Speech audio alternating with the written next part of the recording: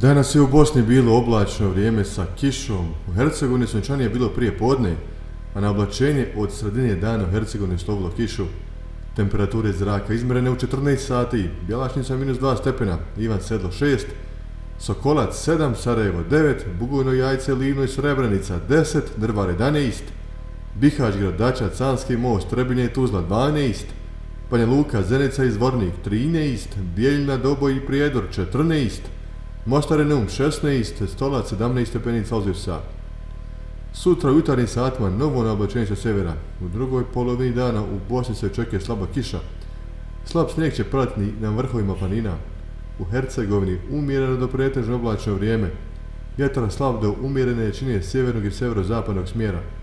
Najniža jutra temperatura zraka uglavnom između 0 i 4, na jugu zemlje od 5 do 9 stepeni.